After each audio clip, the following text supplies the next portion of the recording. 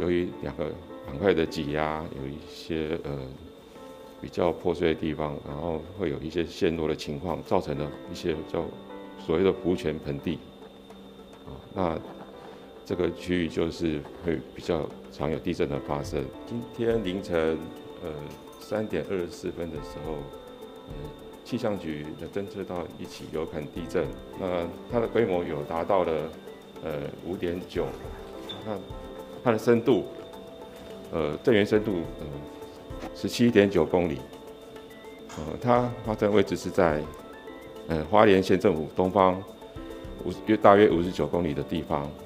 那各地震度的情况，在花莲呃和平有到四级，呃宜兰县宜兰市呃有到也有到四级，那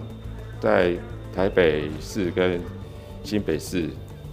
桃园市这这些地方也有到三级。这次地震它发生的位置，在地体构造来来说的话，它是在呃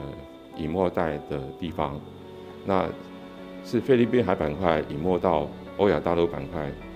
的那个位置那它是在隐没带的那个前缘就是我们在这个地址上来来看的话，就是在隐没带一开始的地方，啊，它会有一些由于两个板块的挤压，有一些呃